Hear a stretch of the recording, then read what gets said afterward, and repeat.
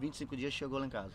Ah, você já tinha alugado. Gastou no processo todo, Rogério? 1.500 dólares. Só 1.500 dólares? 1.500 dólares. É, esse visto que eu peguei é melhor do que o visto de turista e do que o visto de estudante.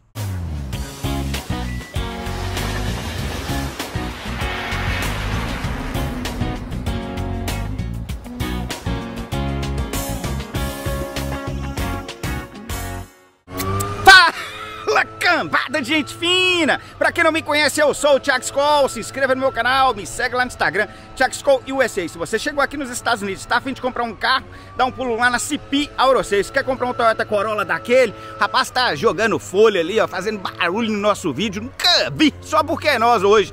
Nós estamos aqui na minha casa aqui, recebi aqui o Rogério aqui. Rogério, um amigo do Thiago Escola lá da Flórida, que camarada tá rico.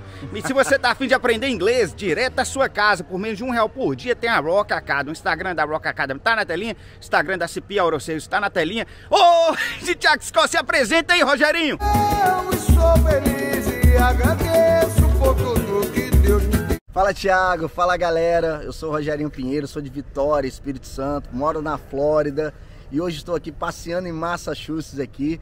Vim conhecer essa pessoa especial aí, o nosso amigo Thiago Skoll. E tamo junto, Thiago. O Rogério, ele tem uma história top, pessoal. Camarada com 25 dias já pegou green card. Thiago Skoll teve que ir no boteco, tomar cachaça, caçar mulher. Ei, meu Deus do céu. E tem os bobos e tem os espertos, né? O Thiago Skoll é o bobo e os espertos tá aqui. Nós vamos destrinchar a vida do Rogerinho. Só eu, você, você e eu. Mentira, Thiago Skoll, você tá com o prefeito de Vitória. Tamo junto, Thiago. Você, você é especial, cara. Te sigo há muito tempo. Sou seu parceirão, pode contar aí.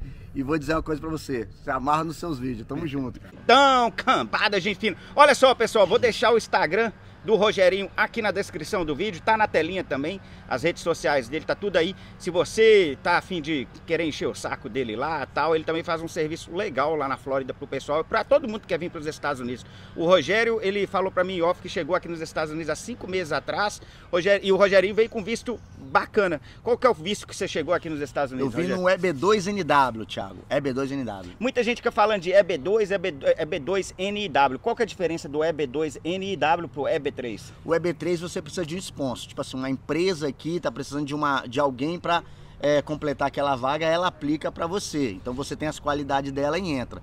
Já o EB2NW, existe sete, sete requisitos, onde você tiver três desses sete né, exigido pela USAIS, você já pode aplicar. Então, o... quando você fala aí o SAS é a imigração, né? é a imigração americana. Então, né? então, quando você fala assim, o EB3 você precisa de um sponsor, o EB2NW você já não precisa. Mas, cara, o, o, o negócio desses vistos, uma coisa surpreendente que você fez tudo, o seu processo sozinho.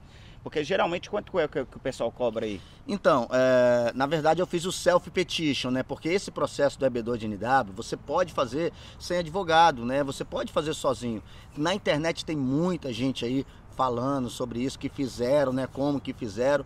E assim, na realidade, quando eu fui fazer, Thiago, eu não tinha condição de estar fazendo, eu não tinha dinheiro para fazer. Era 20, 25, 30 mil dólares. Então, então, só cortando, então o advogado não cobrou nada de você, não? Não, eu não fiz com advogado, eu fiz sozinho, né? Ué, você não precisou de advogado, não? Não, não, não fiz não, eu fiz sozinho, fiz self-petition, porque dá essa opção o EB2NW. Então assim, você próprio monta o seu processo, porque tem tudo no site da USAIS. Então assim, você que está em casa aí, você está com dificuldade, quer vir para cá, você pode entrar na USAIS lá no site, lá tem tudo, cara. Tem tudo que eles exigem. E aí, é lógico que você vai demorar um tempo, vai ter que estudar como eu fiz, né? Estudar e aprender para estar fazendo, entendeu? O, o- geralmente o pessoal cobra quanto para fazer o EB2NW? Uns Ó, 20, 25? É, o que eu ouço falar é uns 20, 25, até 30 mil dólares. você não tinha esse falar. dinheiro? Eu não tinha. Na, na verdade, assim, o que aconteceu, Thiago, eu tinha aquele desejo grande de vir para cá, né? Porque eu sempre vim aqui a turismo. Porém, assim, o meu filho ia completar 21 anos. E eu tinha, acho, uns 3, 4 meses, assim, até completar essa data. E como eu sabia que eu era elegível, que eu já tinha pesquisado, se eu demorasse a tomar uma decisão, ele ia completar 21 anos e se eu viesse a ganhar o Green Card, ele estaria fora. Entra, viria eu, minha esposa e minha filha menor de 13 anos, mas ele não, não, não, entraria. Porque tem que ser abaixo de 21 anos solteiro, né? É, solteiro, isso É. aí, abaixo de 21 anos solteiro. E aí, cara, como eu não tinha o dinheiro, eu tinha que, assim, pegar empréstimo, que vender o meu carro, o carro da minha esposa no Brasil, que a gente morava no Brasil, eu teria que, eu não tinha esse dinheiro. Aí eu falei, cara, eu vou tentar fazer sozinho. Aí eu comecei a estudar, estudar, estudar, estudar, e aquilo que eu ia pegando, eu ia montando, eu ia fazendo. Eu tinha dúvida, eu ia pro YouTube, ia pro Google, ia pro site da USAS, fazia rascunho, fazia, refazia, olhava, via se estava bom. E até que a gente acabou se especializando nisso aí, né? Uma, uma coisa que você falou ali que é interessante, né? O EB2NW, você falou ali que tem sete coisas que você pode. Como que é? Sete E- itens é. que você pode se encaixar, né? Isso, né? isso, é. O, qual foi o item que você encaixou ali? Então, eu, eu me encaixei. é, um, é um, um- Você pega um de sete? Ou não, é três de três sete? de sete. Três de Três- sete? três de sete, é. Eu me encaixei, é, porque eu sou. Eu nem tenho curso superior, Thiago, acredite se Não? quiser. Não, eu vim com curso técnico. Porque ele- muita gente fala que tem que ter bacharel, né? Pra... É o bacharelado e o, e o doutorado, você de 10 anos você reduz para 5 anos, né? Então a, a, a imigração ela dá esse presente para quem é bacharel, né? Mas quem não tem curso técnico, igual o cara, tinha só curso técnico. Quando eu olhei lá, eu achei que eu não teria condição. Eu, era, eu já fui taxista tal. Eu falei, cara, eu não tenho currículo na área de administração, né? Trabalhei, a última vez eu trabalhei no, no, no IMETO, no IPEM do meu estado, que aí, nos últimos quatro anos, foi o que me deu uma, uma, um, Um suporte. conhecimento, um suporte, alguma coisa assim. Mas ao longo da minha vida, eu nunca tinha trabalhado. Eu, eu fui taxista há mais de 20 anos. E aí eu fiquei naquela, né? Imaginando e pensando o que, que eu ia fazer. Aí, estudando, eu tinha o, o, o, o diploma de mais de 10 anos. Aí eu não era afiliado na associação que eles exigem. Eu coloquei, me filiei no CRA, no, no Conselho Regional de Administração. Aí eu atingi o É porque segundo. você fez o curso técnico de administração na época. É, na Entendi. época. E logo quando eu me formei, em 97, lá atrás. E, e achei que aquilo nunca ia servir pra mim pra nada, Tiago. Olha só, né? cara. E serviu. E a terceira carta de recomendações, entendeu? Então, Então- eu já, já entrei. Então, se o cara, dá um exemplo aqui, se o camarada tiver um curso técnico, vou dar um exemplo aqui por alto, né?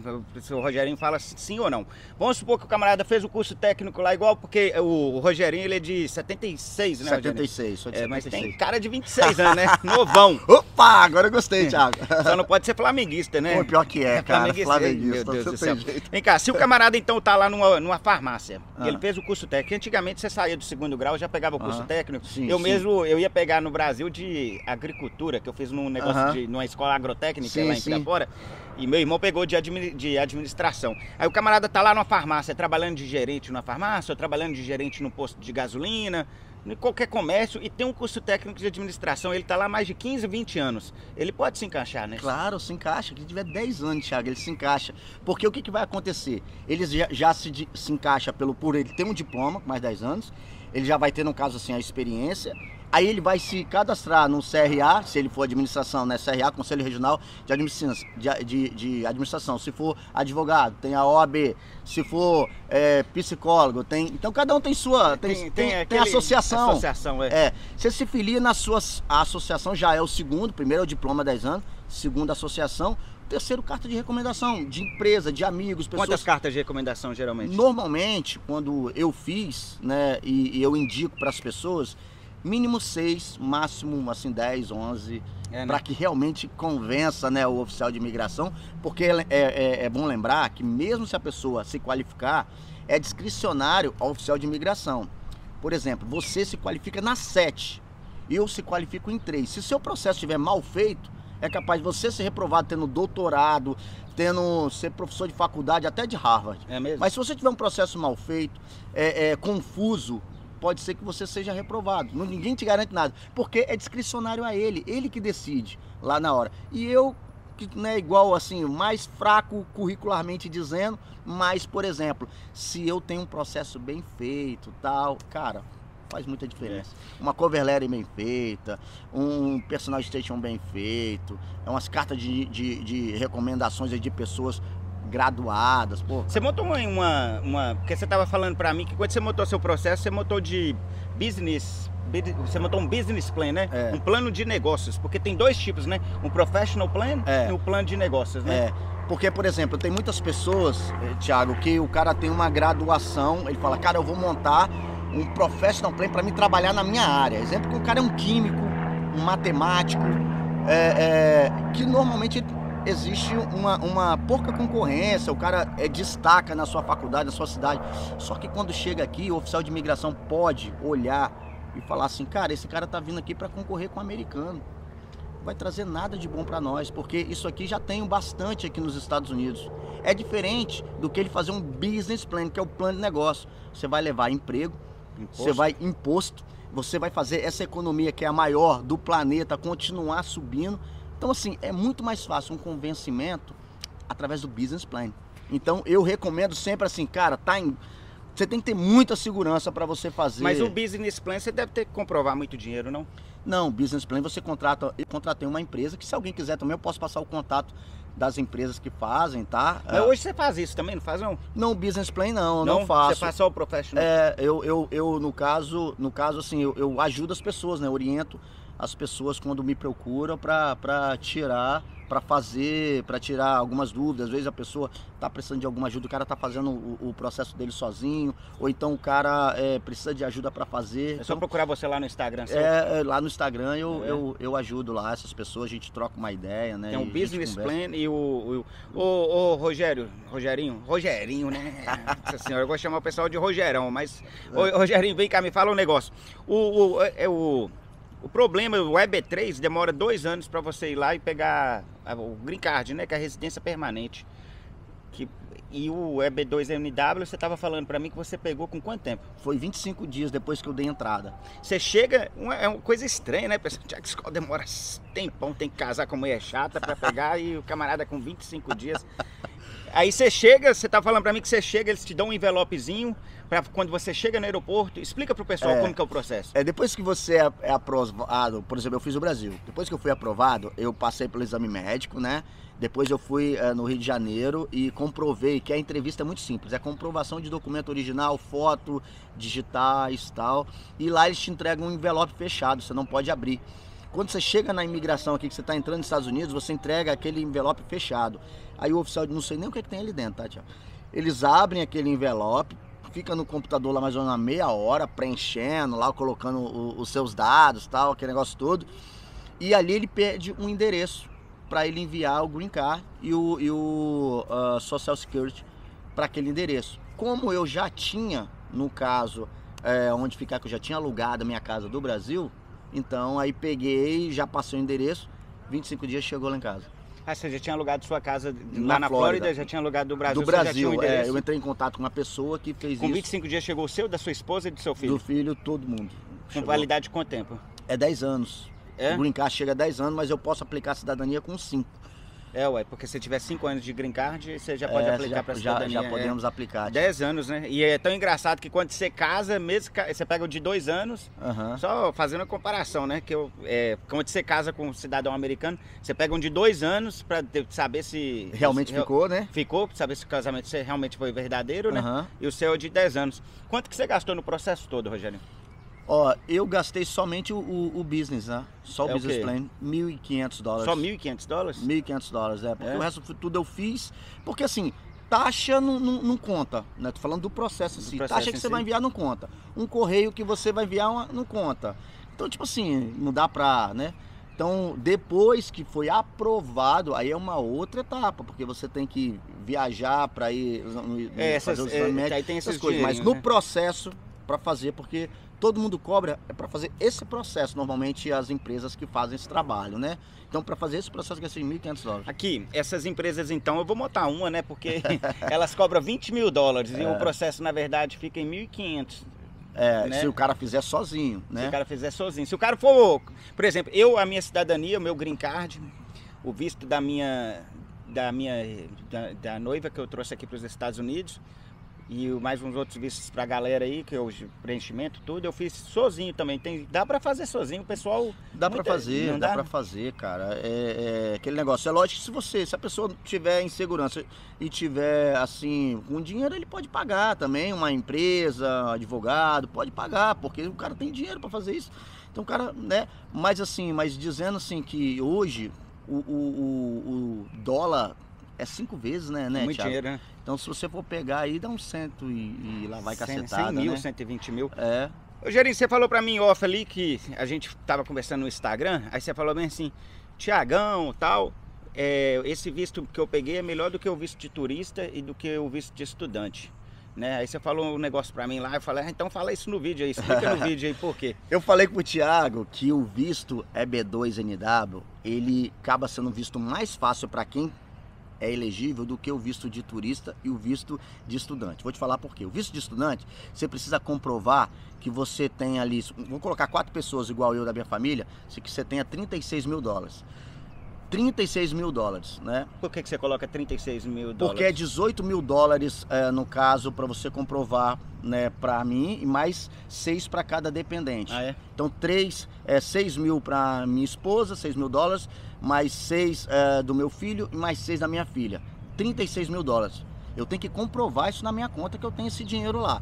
Quem tem hoje isso no Brasil? Poucas pessoas. 150, 36 vezes 5, 180 mil reais? É, vamos lá. Poucas coisas, poucas pessoas. E aí, é, é, vamos lá. E, e com esse visto ser uma forma que todo mundo né, acha que, que é mais fácil vir para cá, aquele negócio todo, passou a ter uma concorrência bem maior. O visto de turista, você pode comprovar é, dinheiro, você pode comprovar, é, você tem que ter patrimônio, carro, casa. Só que quando chega lá na frente, se você não comprovar que você não vai morar aqui, que você tenha vínculo para retornar para o Brasil, é a mesma coisa do estudante, que você também tem que comprovar vínculo. Como é que você comprova isso? O cara fala, você vai voltar para o Brasil? Você fala que vai voltar, né? Lógico. Então é uma coisa muito difícil, muito complexo. Agora o EB2NW. É B2NW. O cara estuda, o cara tem um currículo 10 anos, ele já tem, independente se ele vai vir para cá ou não, ele já tem. Se para ele se, se, se filiar a uma associação, é só ele ligar, né? Igual eu fiz um mês antes de mandar para o meu processo, eu fiz isso. Pode ser no mês que ele vai que ele vai fazer o processo. Ele vai pagar 100 reais é por o- ano, igual eu pago 100, 150 por ano, que eu nem lembro mais. E aí o terceiro, carta de, de recomendação, se você tem muitos amigos, É. onde você trabalhou e tal. Então, se na teoria você consegue comprovar três de sete exi- exigências da USAS, então, teoricamente, você fazendo um processo bem feito, é muito mais fácil você ser aprovado. Não é B2 ganhando green card, sendo residente permanente, depois de cinco anos, poder morar legalmente aqui nos Estados Unidos por resto da vida, sendo cidadão americano por resto da vida, votar no, no, no quem quiser, no Trump, no Biden, quem quiser, né? Do que você pegar e ficar batendo cabeça, vir pra cá e tendo que seis meses tem que voltar pro Brasil, pedir ajuste de status ou qualquer coisa desse tipo. É. Então, se você for colocar na balança, realmente, muita- cara, é é. é muita É diferença. muita diferença. Eu mesmo eu não conhecia, pra ser honesto, viu, pessoal? Muita gente fica me perguntando, Tiagão, é, fala do EB3, EB2MNW. Eu não gosto muito de falar porque eu não tenho propriedade pra falar, assim, a não ser que a gente vá lá estuda. Mas eu perguntei pro Rogério, Rogério, esse EB2NW começou quando? Começou a ser mais conhecido em 2017. 2017, Na verdade, ele né? sempre existiu, né? Ele, ele, ele foi conhecido muito como aquele, aquele cara que tinha habilidade extraordinária. Exemplo, o cara ganhou a Copa do Mundo. Vamos colocar do, do Brasil lá, ele tem aquela medalha, ele tem aquele título. O cara foi campeão mundial do UFC. O cara era um ator de novela, ganhou o Grammy aí de cantor. É pra esse tipo de pessoa. Todo mundo achava que era somente Pros fodásticos, Os- né? é, porque- Os top das galáxias, porque- como os carioca gostam de falar muito tops das, das galáxias. É porque tem um dos itens que fala sobre isso. Se você se destacou de alguma área, recebeu algum prêmio, se você recebeu algum, se você escreveu algum livro que bombou, se você fez um, você tá entendendo? Tem um dos top do set que fala sobre isso. Então marcaram muito essa questão como um visto de habilidade extraordinária, mas na realidade Ou então pessoa- as pessoas não conseguiram interpretar que daquele, daquela exigência talvez. Né? é, são três exigências de, de sete. set, é, Talvez aquela ali não, não, não, não precisava, né? não, não precisava. Aí você aí pega, você tava lá, na, tava lá em Vitória, tranquilão, trabalhando lá, curtindo a praia de Vitória. Tava, você tem um filho, filha e a esposa. esposa. E demorou quanto tempo esse processo? A partir do momento que você aplicou, demora quanto tempo mais ou menos? Então, vamos lá. É, eu demorei três, me- três meses para fazer, né? Porque tive que fazer sozinho e tal. É, depois que eu apliquei, demorou mais ou menos. Depois que chegou na USAS, demorou nove meses para ser aprovado. Depois, mais seis meses, eu estava aqui nos Estados Unidos. Então menos de um ano, mais ou menos? É, não, ficou um ano, um ano e meio, né? Um ano e meio, é. É um ano e meio. Um ano, um ano. É um ano e meio, pô. E, e por que que você... você a vida sua tava, tava boa lá, não tava não? Tava boa. Tava, Tava? boa. Eu não tenho nada que reclamar, não. Deus sempre foi muito bom pra É? mim. É. Graças a Deus eu tinha um bom trabalho, minha esposa também tinha um bom trabalho. Mas, Tiago, Quem já veio nessa terra, quem já pisou aqui, vai entender o que eu tô falando. É porque você veio aqui como turista, né? Eu já vim, eu já vim aqui como turista. Esse lugar é bom demais. O poder de compra que tem aqui, a sensação de segurança. Por exemplo, eu cheguei aqui na casa de Thiago Skoll, ó, não foi combinado isso não, tá? Tudo aberto aqui. É. E olha só o que tá aí, ó. Tudo aberto. Eu cheguei aqui, então, assim, é coisas que no Brasil, Thiago, não tem como, né? Você, eu já vejo seus vídeos, você vai sempre para São Paulo, lá para sua terra, você andando lá. Lembro que você parou na estrada lá tomar um suco de suco de abacaxi, abacaxi, é, eu vi esse vídeo também. Então, assim, é, infelizmente tem essas questões, mas nós amamos nosso Brasil, não é isso, Thiago? É. Eu, gosto, eu gosto do Brasil dessas coisinhas do pessoal muito é, hospitaleiro, Hospitaleiro, tal, tal. atencioso, atencioso, humilde e tal. Claro É. que tem um pessoal que gosta de cometer crimes, né? Tem muitos, mas eu gosto muito do Brasil também. Isso daqui foi engraçado. Ontem eu cheguei da, da- do, do boteco, aí deixei o carro todo aberto aí, dormiu aberto, tudo aberto aí, aí hoje acordei. Tá Entendeu? É. É, é uma questão assim que a gente não encontra, né? No Brasil. Então você fica né, sempre naquela, né? Mas assim, eu, eu penso talvez num dia crescer minha mente, me amadurecer, aprender um pouco mais dessa cultura, dessa culinária e talvez no futuro voltar a empreender no Brasil, montar alguma coisa no Brasil e a experiência que eu tive aqui, né, ensinar lá também, ajudar em alguma forma. Ô, Rogerinho, uma coisa voltando ao visto é B2 NIW, né? O que quer dizer NIW, hein? É national, eh, é porque eu não sei falar É, inglês. é o que? National International Isso, é, Workers? waiver, é, waiver. Ah, waiver? É, ah, waiver, é. beleza. É, Como e- você é um cara fluente, tá vendo aí? Eu É, fiz dois anos no Brasil, parece que quando eu cheguei aqui, Thiago, eu não sabia falar inglês. então não precisa nem do inglês, não, pra aplicar pro visto? Não, precisa não, de Precisa inglês. não? Eu fiz dois anos lá no Brasil tal, mas, né, minha entrevista foi toda em português lá no Brasil, não, não precisa não. Mas quando eu cheguei aqui, eu só fui ver que eu sabia pedir ajuda, pedir comida, pedir informação. O, ninguém entendia. Às vezes eu vou falar até pra ir no banheiro, as pessoas. não- What? What? What? What? O quê? O quê? E, eu, e assim, aí eu tenho que explicar. Então, assim, é muito diferente. É, uma coisa que eu ia te perguntar, o, o interessante, né, por exemplo, só mudando um pouco aqui, porque você tem, você tá na faixa dos 40 anos, eu tô na faixa dos 20, né? Vamos supor, é, o visto é B2NW, ele seria mais fácil para uma pessoa ir na faixa dos 30 a 50 anos? É. É o contrário. É o- porque, né, na, isso. na- na verdade, ele exige experiência, né? Então, por exemplo, às vezes é, alguma pessoa me liga, eu vejo pelo rosto, né? Assim, eu falo, quantos anos você tem? Aí a pessoa fala bem assim, ah, eu tenho 25. Tipo assim, ele não vai ter 10 anos de experiência. É isso que eu pensei. ele, é, ele não vai ter um, o doutorado. Talvez, né? é. Talvez até O bacharel teria, né? tem que ter o bacharel com quanto tempo de... Não, bacharel é 10 anos. O bacharel é 10 anos? É, bacharel é 10 anos. O bacharel o técnico é 10 anos? É, o bacharel o técnico é 10 então anos. não muda muito o técnico do bacharel, é a mesma no coisa. mundo É a mesma coisa. Só pra você ter ideia, como é que ele, ele te abraça esse visto. Esse visto você não precisa comprovar dinheiro em conta, você não precisa comprovar imóvel, nem no, no plano de negócio que você vai fazer, tá? Porque eu não fiz nada disso, que eu também não tinha, né? É, dinheiro ali para comprovar, nem nada disso. E também não exige você montar um negócio e trabalhar exatamente naquilo ali. É, É- muito bom, cara. É porque esse negócio do bacharel eu até entendo, porque aqui nos Estados Unidos é interessante, quando você tem tipo 10 anos de experiência, você, é, você já é considerado, mesmo você aqui nos Estados Unidos, se você tiver 20 anos na construção, 20 anos na construção, sem bacharel, só com Aham. o ensino médio, você já pode aplicar para ser engenheiro. É mesmo, É. cara. Você Legal, não hein? precisa ter o Mas bacharel. aí tem que ter documento, né, Thiago? Tem que ter documento. Tem que ter É, documento. você tem que comprovar que você teve 20 anos de experiência na construção, comprovado, você vai lá, faz uma Que prova, legal, né, cara? entendeu?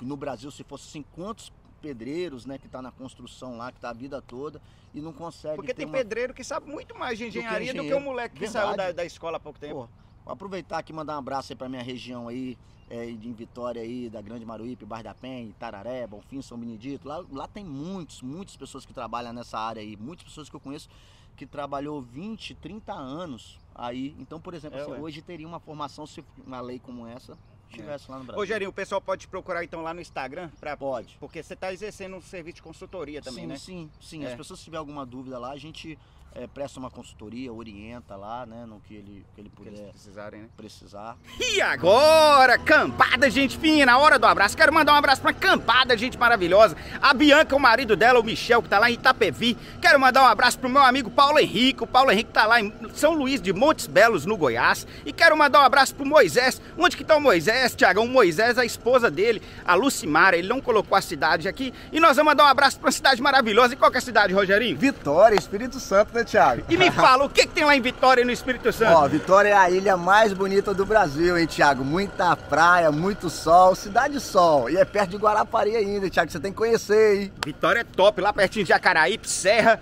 O que, que é aquele negócio que tem chegando lá em Vitória? Tem tipo um Buda lá, assim, chegando no Serra. Lá. Ah, aquilo ali é. esqueci o nome, mas é isso, é como se fosse um, um, uma homenagem, né, ao Buda é. gigante, né? Um é negócio tamanho... chinês que colocou ali? É, é, é, é, é um mosteiro. Mosteiro. É, Gera dinheiro pro estado aquele negócio? Cara, não, é turismo mesmo. Turismo, né? Só turismo É, mesmo, né? é. Mas lá em Vitória tem um problema, pessoal. Você tá vendo o Rogerinho como que é feio aí, ó. Você vai chegar lá em Vitória, pessoal. Vai ter uma rua dessa assim, ó. Do lado de lá um tanto de cachaceiro, do lado de cá um tanto de cachaceiro, mas vai devagarzinho, pessoal. Lá vai ter um tanto de mulher bonita. Lá tem mulher bonita, não tem, Rogerinho? 500% das mulheres tudo bonita, é? Mas os cuecão tudo feio, né? Os homens é tudo feio. Tudo feio. Deus abençoe vocês em Vitória, Deus proteja vocês e vamos voltar a destrinchar a vida do Rogerinho aqui na América. Então, cambada, gente fina, eu, o Rogerinho, nós vamos ficando por aqui. Vocês viram aí, né, pessoal? O camarada gastou 1.500 dólares, com 25 dias pegou o green card, foi lá, estudou o processo, fez tudo aquilo que todo mundo tem que fazer e já tá com o green card na mão, tranquilão lá na Flórida. O Instagram, as redes sociais do Rogerinho, tá tudo aí na telinha, tá na descrição do vídeo, se você quiser encontrar, entrar em contato com ele. Rogerinho, se despede aí. Se a coisa não sai do jeito que eu quero, Thiago, muito obrigado. Foi um prazer, cara, estar aqui, gravar esse vídeo com você. E se você de alguma forma precisar de alguma ajuda, já pediu o Thiago aí, falou, Thiago, deixa aí no minha, nas minhas redes sociais aí, o meu Instagram, o meu telefone aí. E aí, se a gente puder te ajudar, a gente vai fazer um esforço aí pra te ajudar mesmo. Então, só você entrar em contato que a gente tá junto. Obrigado aí, Thiago. Rogerinho é fera, hein? Vocês falam aí que aqui na América só tem mineiro aí. Tem um capixaba aqui esperto. Só os mineiros que estão aí correndo atrás de gringados. Capixaba, tá? Tô brincando com a minerada. Pessoal, Deus abençoe vocês. Deus proteja vocês e se inscreva no canal porque esse vídeo ficou bacana. Esse vídeo ficou legal.